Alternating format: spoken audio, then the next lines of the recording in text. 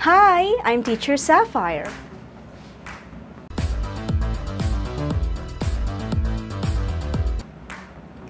The person I want to be stuck on an island with is my boyfriend. I chose him because I've been with him for more than a decade now, and his presence is all I need to feel safe and secured. We have been through a lot of trials and challenges in a relationship. This means that whenever or wherever we are, we can get through any situation as long as we are by each other's side. Being stuck on an island may not be a bad thing because I believe that it will strengthen our relationship further in ways we can't even imagine.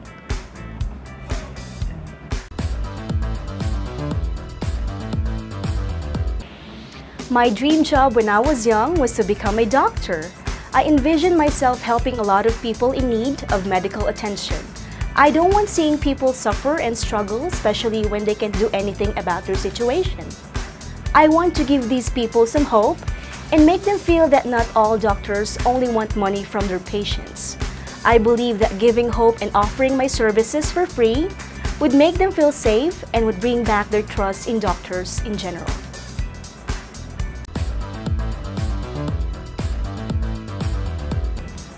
The country that I would like to visit the most is South Korea. I want to learn more about their culture, not just through the internet or by watching Korean movies and series.